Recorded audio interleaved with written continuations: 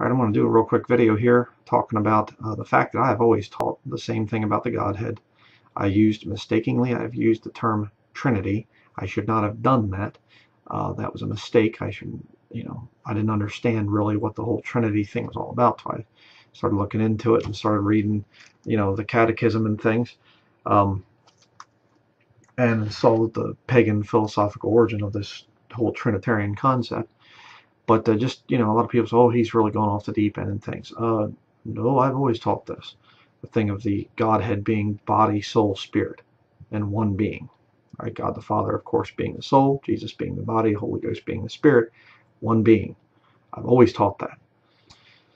Uh, here we have man, body, soul, and spirit. It used to be called Trinity. I changed that because I came out and said, hey, it's I shouldn't be using the word Trinity.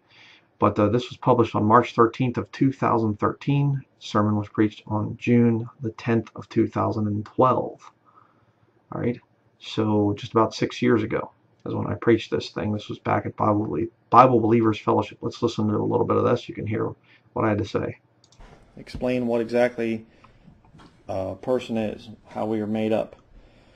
Well, let's count that again. Body, soul, and spirit. What is that? That's three. Okay? You say, well, I thought you said just that's how somebody's made up. A person's made up. Well, a person's one, but they have three parts. Now, can anybody think of anything else that is similar to that? God. God has three parts, but he's only one. There's only one God, but he has three parts to him. And we're going to look about that in Scripture. I'm going to show you verses on the Godhead. Okay. I go on to say about, you know, it's also called the Trinity or something else like that. But like I said, I shouldn't have been using that term. But there you go. Martin Richling's Other Christ. This was February 1st of 2014. Listen to what I say. Well, let me explain something. The Godhead is made up of three. You got that? Body, soul, spirit. Now, the Bible says that we also have a body, soul, spirit. That doesn't mean that we are gods. It doesn't mean that we are like God as far as I'm on his level. Not even close. Not even infinitesimally close. I mean, we're talking... But we have a body, soul, and spirit. Now, let me ask you a question. The Trinity, the Godhead, who's the Spirit? The Holy Ghost. Who's the soul? God the Father. Who's the body? Jesus Christ. Okay. You heard say Trinity again, like I said. I'm not using that term anymore. But I said this back in 2014 over the whole Martin Richling scandal thing. Let me just show you something here. There's Greg Miller. Nailed it. Good teaching brother.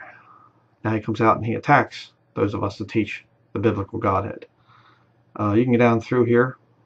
Um, uh, a lot of these people, you'll see that uh, they were agreeing with me back then. Uh, now, you know, now they call me a heretic for preaching the exact same thing. Oh, this one especially, she she lies about me like crazy. But look at this. Thank you, Bryan. I believe what you say and the word. Fact, Martin, Martin Richling has a prison mentality and mean spirit. I listened to him once and he was mean. But now she's on other videos and things. I've seen her in other comments and things attacking me and calling me a heretic and all kinds of stuff. Just a few years ago, I'm fine and everything's great and wonderful. And Greg Miller as well. And there's a lot of others too, you know, on that. Here's the thing on Chris LaSala. This was April 5th, 2017. Right? I disabled the comments on this one, but... Let's continue reading here in Colossians chapter 1. Verse 15, who is the image of the invisible God. Again, LaSalle has no, no comprehension of this as a lost man. He doesn't understand the Godhead. It's three. You have a body, you have a soul, you have a spirit. When you look at God the Father, you see the body. Who's the body? Jesus Christ. What's the spirit inside there? The Holy Ghost. Lost people don't understand this okay, over a year ago. Why all the, the blow up and everything else and Denlinger's teaching heresy and everything? I've been preaching this stuff for years, going the whole way back to 2012 before I was married. But I'm the heretic now and everything else and stuff.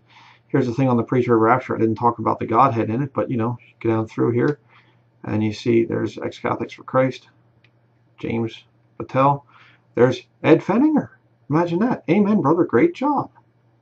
See, all these people that had come out now and attack me, all these people were once fans of this ministry. You, can, you know, I'm not going to show any more there, but isn't that weird? But I'm the one that fell away. I'm the one that's gotten messed up. Just showed you proof that I think almost all of these people at one point in time were fans of this ministry, friends of this ministry, and they've come out and stabbed me in the back. And I've been preaching the same thing since 2012. Right there it is. Right here's the sermon. So, um, all the all the things out there, people calling me a hypocrite and all this other stuff. Uh, I don't think I'm the hypocrite. All right, I'm sticking to what I've always preached on this thing. And if I change something, if I change, you know, whatever I've I've been teaching throughout my ministry, I'll come out and I'll admit it, and I'll admit to being wrong on things. Be careful who you listen to.